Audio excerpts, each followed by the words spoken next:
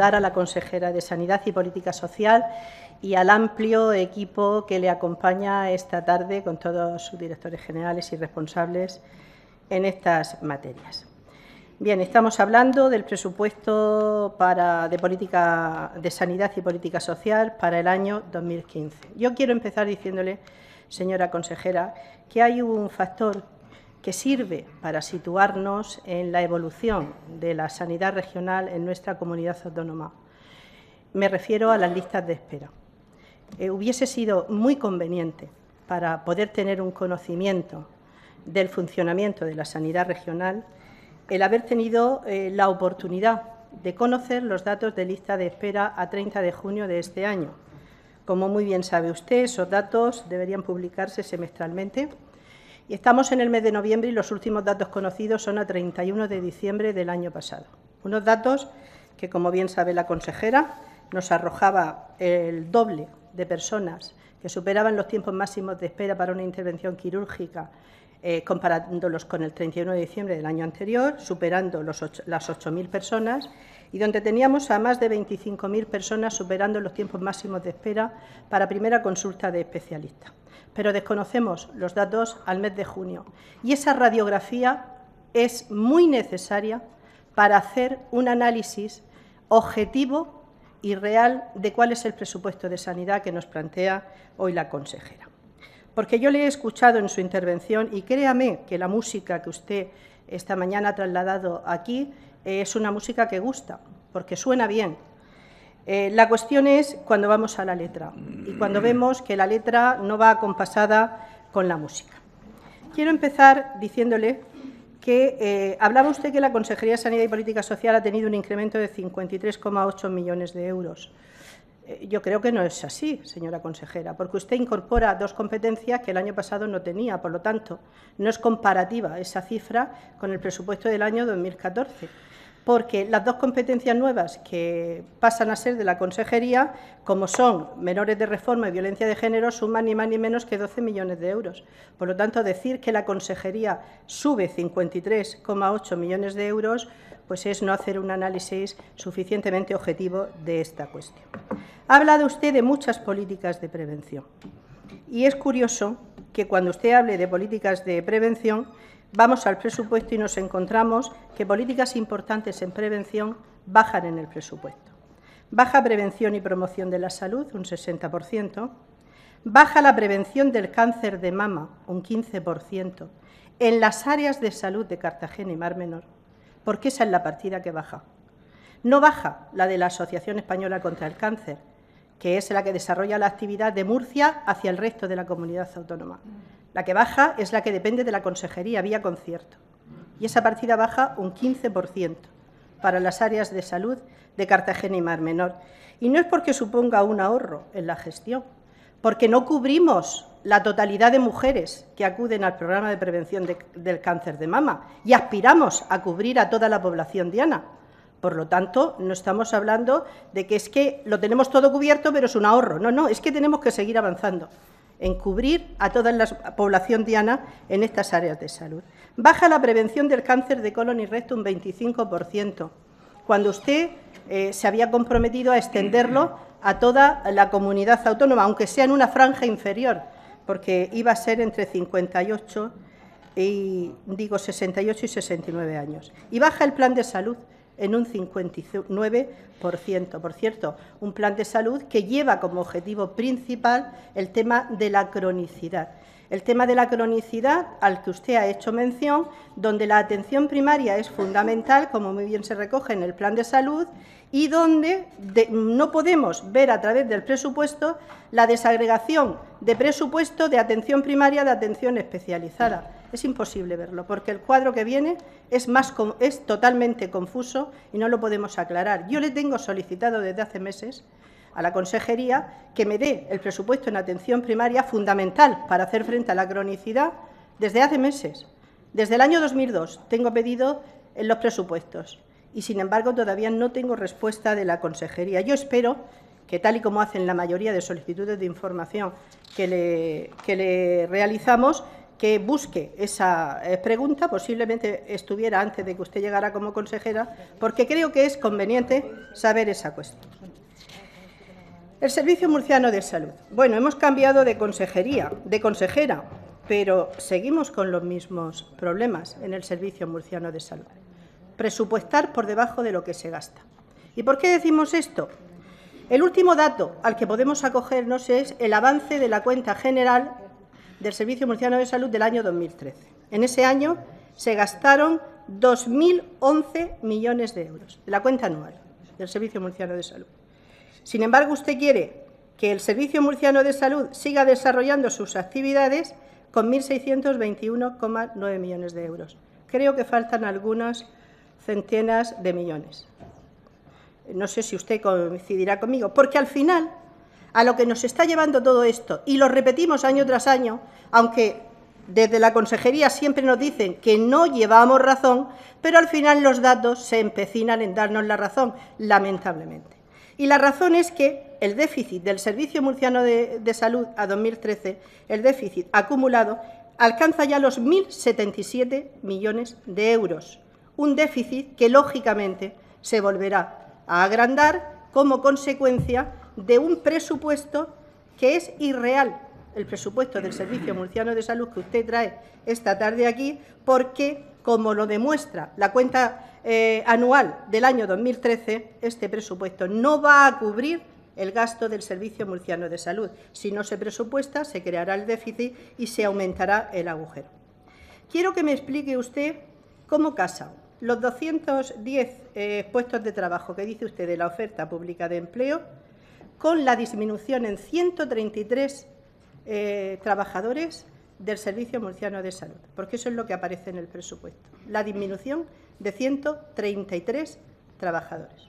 Entonces, me gustaría que explicara usted por qué no se eh, si está computado dentro de los trabajadores, ya se computa la oferta pública de empleo, y a pesar de la oferta pública de empleo vamos a perder 133, o si vamos a tener 210 adicionales, ¿por qué se plantea que vamos a perder 133 empleos?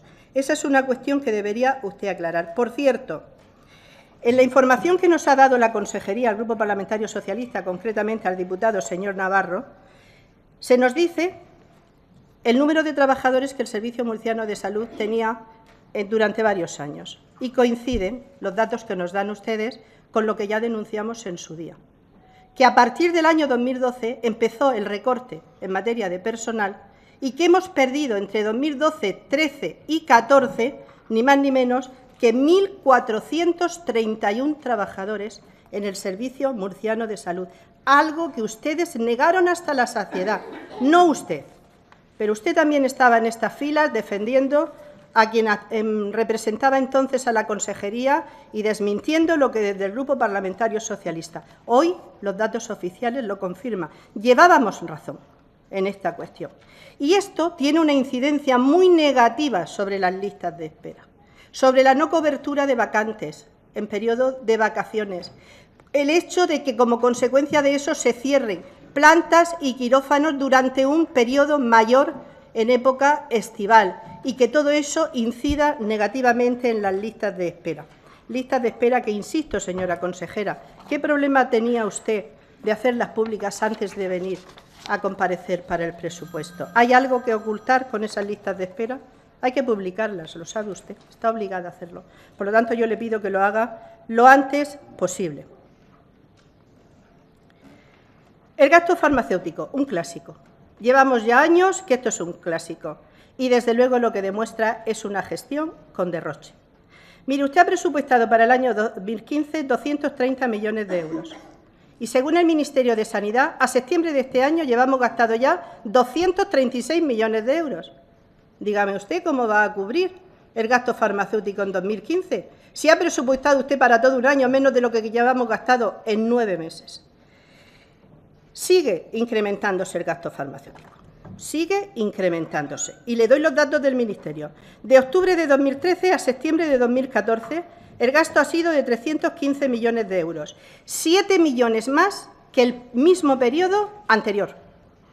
Por lo tanto, no hablemos de que el gasto farmacéutico está bajando, porque en el interanual, según los datos del Ministerio, estamos incrementando el gasto farmacéutico. Por no hablar de lo que ya le hemos dicho en más de una ocasión, el coste o el precio medio por receta.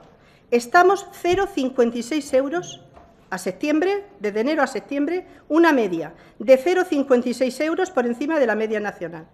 Se han prescrito 27,9 millones de recetas, multiplíquenlo por 0,56 euros.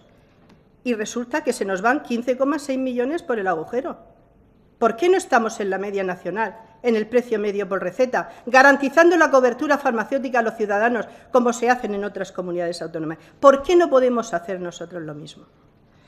Me gustaría que explicara por qué tenemos que pagar 750.000 euros de intereses de demora en el año 2015 a las farmacias. ¿Por qué? Explíquelo usted. Porque es mucho dinero en intereses de demora. Dinero que se resta de la asistencia sanitaria. Dinero que se resta de la asistencia sanitaria. Por cierto, por cierto, mm, somos capaces de no pagar en tiempo y forma y pagar 750.000 euros en intereses de demora y ahora que se anuncia que se va a implantar la receta electrónica, hoy ha sido una noticia que ha dado usted en los medios de comunicación, que parece ser que para el mes de eh, enero o marzo la vamos a tener en marcha, dice usted al mismo tiempo que no va a servir de momento para no tener que cobrarle a los pensionistas más dinero de lo que tienen que pagar por los medicamentos, como en otras comunidades autónomas se ha hecho con la implantación de la receta electrónica. Explique usted por qué no. ¿Por qué no? La eficiencia no tiene que ser el resultado de mejorar la calidad de vida de los ciudadanos. Pues esa eficiencia de la receta electrónica tiene que repercutir positivamente en los ciudadanos y concretamente en los pensionistas de esta comunidad autónoma. Ya no hay excusa, señora consejera. Ya no hay excusa, más allá de un interés recaudatorio del bolsillo de los pensionistas de esta región, que yo entiendo que no sea su voluntad, pero que, por lo tanto, para demostrarlo, usted tendrá, al mismo tiempo que plantea y aplica la receta electrónica, aplicar el que los pensionistas no tengan que pagar más por los medicamentos. Una gran asignatura pendiente en materia de sanidad, la salud mental. Baja el presupuesto en un 0,44%, lejos de subir y se deja usted en el tintero lo que ya le dijimos el otro día en la comisión, las resoluciones aprobadas por la Asamblea, unidad de hospitalización infantojuvenil en la Risaca y en el área de salud de Cartagena. No tenemos que esperar a que se haga un hospital nuevo para que este servicio se ponga en marcha en la Risaca, si es urgente, si se lo han dicho las federaciones de, personas con salud mental. No necesita usted un nuevo hospital para poner en marcha este servicio. La puesta en marcha de la planta de psiquiatría del Hospital Mar Menor, que sigue sin ponerse en marcha, o las unidades de psiquiatría de los hospitales comarcal del noroeste y Virgen del Castillo de Yecla. En inversiones no hemos visto el centro de salud de Sutuyena en Lorca. ¿Por qué? Pregunta que le queremos hacer, porque sí estaba en el presupuesto de 2014. A lo mejor yo carezco de alguna información que usted me puede dar. Y luego grandes ausencias del presupuesto de sanidad. Seguimos sin un plan regional de atención sociosanitaria. Hoy, vuelve usted a decir que están haciendo estudios. Seguimos. ¿Cuántos años llevamos con una experiencia piloto que se inició en Cieza? Años. Y hoy lo que se nos dice es que se van a hacer estudios. Para el Rosell, ningún compromiso de convertirlo en el segundo hospital de Cartagena con los servicios básicos de un hospital general. Solamente se contempla la escuela de enfermería.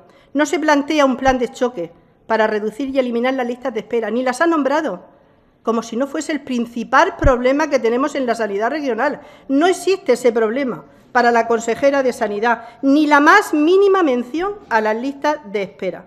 Y seguimos sin poder saber lo que le he dicho anteriormente, el gasto desagregado de atención primaria y especializada. Señora consejera, el presupuesto de sanidad para lo que va a servir es para incrementar el déficit las listas de espera y va a seguir avanzando en el deterioro de la sanidad regional. Claro que se hacen cosas con 1.950 millones de euros, faltaría más, pero la cuestión no es esa. La cuestión es las asignaturas pendientes que tenemos en materia de sanidad, ¿vienen recogidas en el presupuesto? ¿O es virgencica que me quede como estoy? Pues mire usted, no nos conformamos a quedarnos como estamos, no nos conformamos con unas listas de espera desbordadas y no nos conformamos con menos políticas de prevención en materia de salud y no nos conformamos con esos agujeros de déficit que al final inciden negativamente en la calidad asistencial de los ciudadanos en nuestra comunidad autónoma. En materia de política social, pues mire, en pobreza, ¿Sabe usted que estamos, según el INE, en el 27, tenemos unos índices de pobreza del 27% de la población? Eso supone que la pobreza, el riesgo de pobreza alcanza ni más ni menos que a 400.000 personas en nuestra comunidad autónoma. Y hay una ausencia absoluta en este presupuesto de un fondo de emergencia contra la pobreza, sobre todo contra la pobreza infantil, donde hay organizaciones que nos ponen a la cabeza de todas las comunidades autónomas de este país. Y no hay un fondo de emergencia contra la pobreza infantil. No se nombra. Las partidas específicas contempladas en el presupuesto de la Consejería y del IMAS son insuficientes.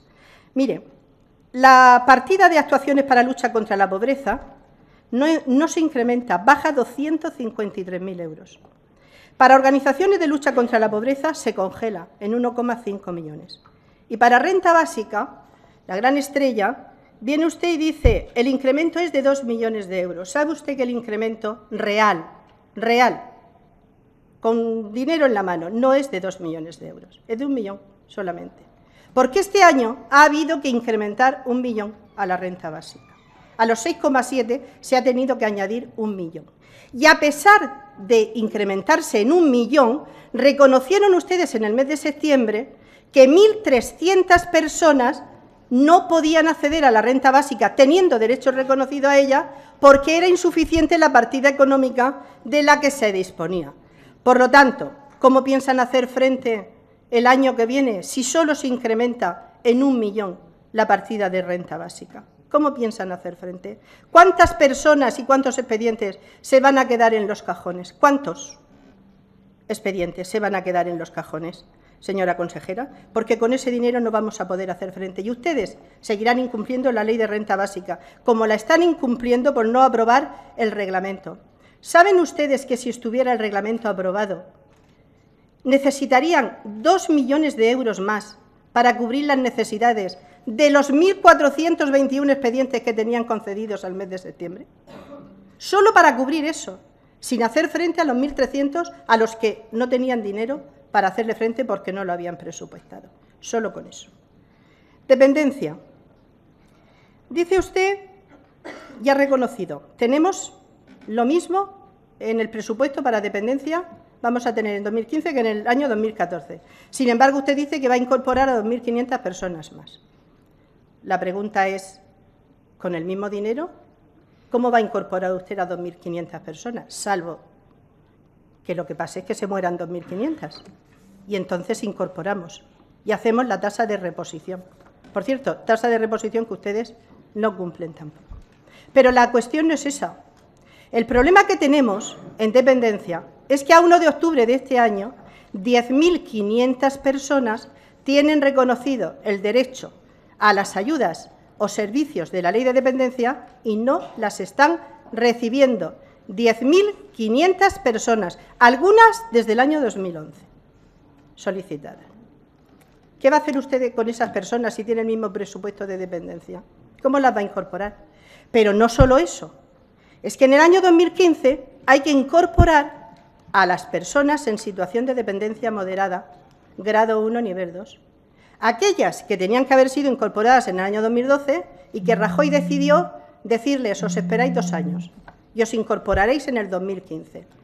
Y según los datos que esta misma tarde he sacado de la Consejería, su página web, son 4.487 personas, que sumadas a las 10.500 que hay al mes de octubre, serán más a finales de diciembre, estamos hablando de 16.000 personas con grado protegible en el año 2015 y, por lo tanto, con derecho a ser incorporadas y usted mantiene el mismo presupuesto en dependencia. Mi pregunta es, ¿cómo las va a incorporar usted con el mismo presupuesto? Porque está obligada a hacerlo. Señora consejera, ¿cómo lo va a hacer? salvo que tenga usted más información que nosotros. Y es que a lo mejor sabe que Rajoy haya pensado volver a aplazar la incorporación de estas 4.000 personas. Pero en todo caso, tendríamos 10.500 con derecho reconocido a prestación y sin cubrir esas necesidades.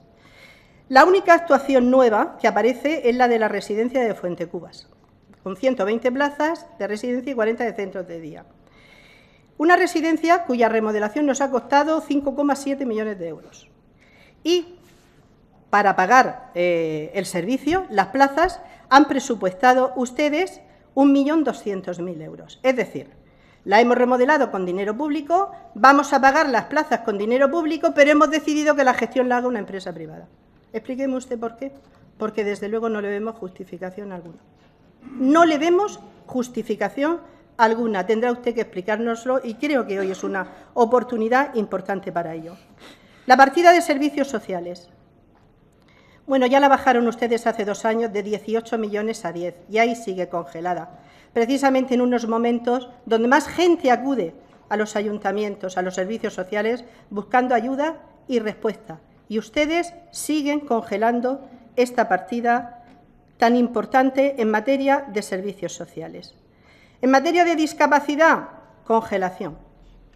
Bueno, pues ahí, Virgencica, que nos dejen cómo estamos. Eso sí, desde el año 2004 seguimos sin plan regional en materia de discapacidad y, desde luego, la ley regional de discapacidad prometida por el entonces presidente Valcárcel ni se sabe ni se la espera. En el tema, debe ir terminando. Termino ya. En el tema de cooperación al desarrollo, otra ley que se incumple. Mire, en la Ley de Cooperación al Desarrollo se dice que la Ley de Presupuestos Generales debe contemplar las partidas para ir dando respuesta a los proyectos en materia de cooperación. Y dice, estos recursos se incrementarán progresivamente hasta alcanzar al menos el 0,7% de los ingresos propios recogidos en el presupuesto inicial consolidado de la Administración General de la Comunidad Autónoma. El 0,7% de los ingresos propios. Y lo que ustedes han presupuestado son 123.497 euros. Otra ley que se incumple, que además no tiene el plan director tampoco aprobado. Y en materia de familia, la única partida en materia de familia, el punto de encuentro familiar.